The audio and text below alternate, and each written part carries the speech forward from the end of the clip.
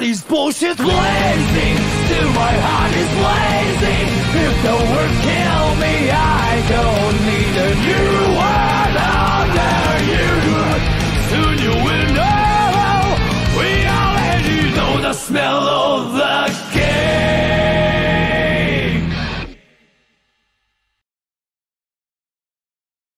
case you weren't aware, during RadCon 3, I did a massive, three hour breakdown of the basic lore of Guilty Gear in a display of full on concentrated autism as of yet unheard of, breaking down the basic plot progression of over 300 in game years of history, leading up to the conditions that caused the story of the first game, all the way up to, at the time, newest entry in the series, Guilty Gear Xrd Rev 2. However, since then, Arc Sys has announced a new entry in the series, so far merely titled Guilty Gear 2020, and it looks, frankly, fucking incredible, taking the series now signature art style to even further heights, blurring the line between 2D and 3D all the more. They're suddenly adjusting the shape of the character's eyes in each frame to simulate the imperfections of 2D artwork. Fucking nuts! That being said, this video will be mostly ignoring the visuals and gameplay changes that the latest 90 minute reveal trailer broke down because, to be honest, the visual improvements are obvious, and I'm too much of a scrub to really comment with any authority on the implications of the proposed gameplay tweaks. I'm in this shit for the deep lore, my dudes! And so, while barely anything has really been revealed about the narrative 2020 will present, there are some nuggets of information we can glean from what's been revealed so far, as well as some inferences that I'm making based on that info. So if you sat through the entirety of my Guilty Gear lecture and are thirsty for more info on what the Gear lads might be up to next, sit back, relax, and enjoy the insanity that can only come from the mind of our boy and our god, Daisuke himself. Starting right at the beginning of the initial reveal teaser, we get a look at a desert area that appears similar to the Boston seabed, a location in Xrd, but barren, featureless deserts are a staple of any shonen anime that needs a fight to take place without collateral damage, so this really could be anywhere. Scattered throughout this area are massive skeletons that are impaled with similarly massive, ornately designed swords. These are almost certainly the remains of large, possibly Megadeath class gears that were slain or sealed during the Crusades, which does further lend credit to this possibly being the Boston seabed, or at least a location in America, since the gear outbreak started in the States. We then pan through the area, following an eagle to a familiar pair of crossed swords, and our main boys, Sol and Ky, are once again doing what they do best, looking better than ever. Now, some people have speculated, or at least were initially, that 2020 might be a reboot of Guilty Gear due to its unnamed nature, as well as it being rumored at the time, and since confirmed, to be altered mechanically to streamline gameplay. And while we all know a fresh start to the story might have been for the better at this point, this shot itself here mostly disproves that theory, as Sol's sword in the screenshot is Junkyard Dog, his sword he builds later on in the series, rather than the Fire Seal, the piece of the outrage that he wielded in the beginning of the series ever since Guilty Gear 1. Now, of course, this could just be a retcon for aesthetic reasons, since Junkyard Dog is a lot more ornate of a design than Fire Seal, and shows off the abilities of Arc Sys' new engine a lot better, but other bits of info, as well as Daisuke himself, has since confirmed 2020 to take place after the events of Xrd. The convolution lives on! After this, we get a teaser nearly identical to the original Xrd reveal in structure. Sol and Ky pulling off some of their signature moves interspersed with some more cinematic camera angles from their victory and overdrive attack animations to really sell the visual prowess of this new engine. While there isn't a ton left to chew on in this particular clip, aside from foaming at the mouth over the insane visuals, there are some key takeaways. The most obvious is the addition of stage transitions now. With enough damage against the wall, it can break and knock the opponent flying DBZ style to another location in the level. But more subtle are the introductions of new attacks for both Sol and Ky. Sol performs this mid-air diving punch, and Ky does a flip kick that seems to function as a replacement for his Greed Sever, having a similar forward-reaching arc, though Sol counters it here so we don't see how it resolves. Xrd for the most part was a frame-for-frame direct translation of the 2D Guilty Gear animations, with the cast retaining nearly all of their move sets and animations for those moves with very little changes or additions. 2020 seems to be much more comfortable switching things up here and changing familiar movesets, most likely in the name of the aforementioned streamlining.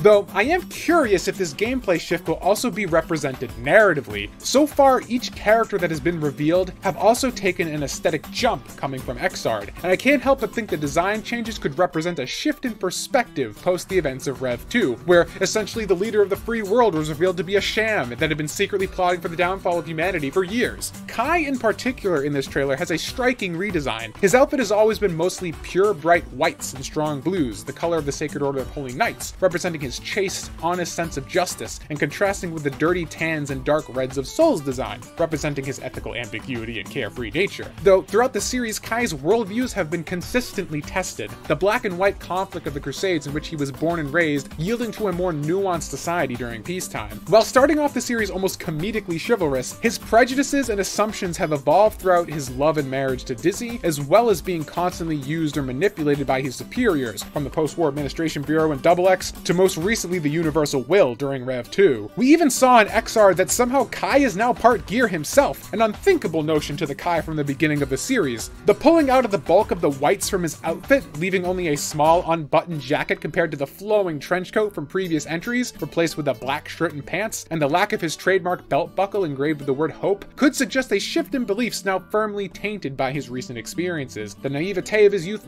lost in a sea of political intrigue and back-to-back betrayals. In fact, identity could be a core theme throughout all of 2020, which would be an interesting narrative approach to take in concert with the game itself evolving its identity through gameplay adjustment for the first time in over a decade. The backing track to this teaser, Smell of the Game, assumedly talking about Sol, considering all the fire references, is all about questioning identity, if you take the time and try and parse out the barely decipherable English that has come to characterize Daisuke's work on the Guilty Gear series now. The lyrics talk about being told who you are versus trying to come to terms with who you are on your own, with an entire section of the full song having the vocalist merely asking, What am I?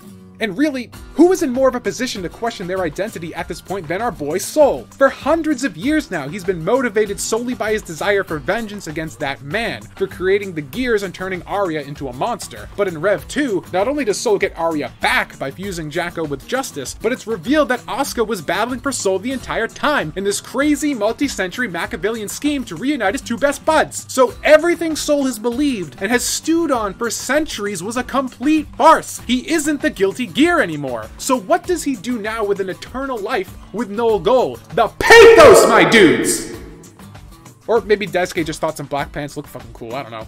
Anyways, that's about what I got out of the initial reveal trailer, but we do still have some other characters we can take a look at. Our next character reveal was a peek at a much older looking May, first revealed in the end of the TGS trailer and in full in the CEOtaku trailer. A lot of people have been looking to May's new design appearing to be much older, and assuming 2020 takes place a fair bit of time after Xrd. However, I have to wonder how much of that appearance of aging is more due to a shift in art direction. Xrd was pretty cartoonish in its aesthetic, playing with proportions and simplifying faces and stuff, most likely to play nice with the limited headroom of Unreal Engine 3 and getting the game to run smoothly on the PS3, which did get a release of Vanilla Xrd. Now though, moving to Unreal Engine 4 and having better spec hardware, the engine can support a grittier, more detailed art style, falling somewhere in between the cartoonish aesthetic of Xrd and the much darker look of the character art from the original X and Double X.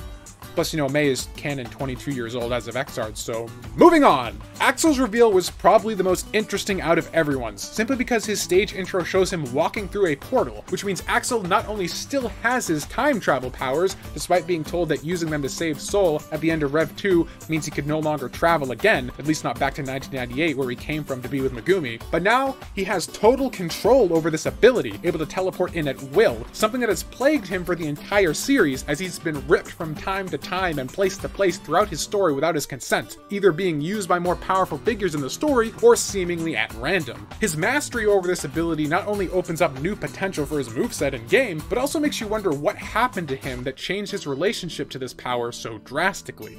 More recently, we got a look at Chip and Potemkin in the latest gameplay demo, and I probably have the least to say about them simply because they aren't as involved in the main story as Sol and Ky, so there's less to infer about. I will say that Chip's moveset seems to have evolved immensely since Xrd, adding lots more DBZ-esque teleporting and rapid strikes, and summoning and cloning jutsus pulled straight out of Naruto. Despite his goofball nature, Chip is the leader of an entire country, so this maturation and leaning to more typical shinobi style skills could represent him maturing as a result of his leadership role. Chip is no longer a recovering drug addict playing at ninja with delusions of grandeur, filling in the gaps with empty bravado, but now a responsible adult who has finally grown into his new role as leader.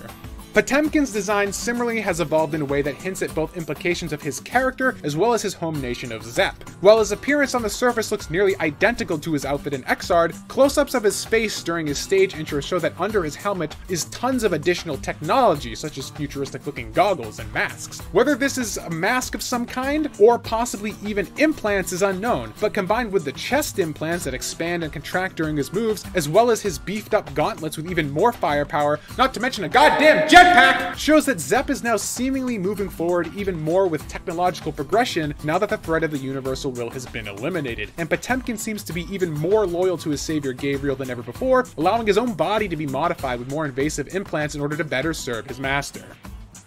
And uh, that's what I got for uh, info going into Guilty Gear 2020. You can bet as soon as a proper game drops, I'll be dissecting it and doing my best to add the events of this game to the overall timeline, so feel free to subscribe if you want to put yourself through that mindfuck later next year. In the meantime, I'll be continuing to try and upload here on I Am Games rather frequently. Things have been going slow for the bulk of this year due to a spinal injury, for which I finally got surgery for two weeks ago, so I'm on the mend there, minus a little bit of my spine, they pulled it out. But that means more content!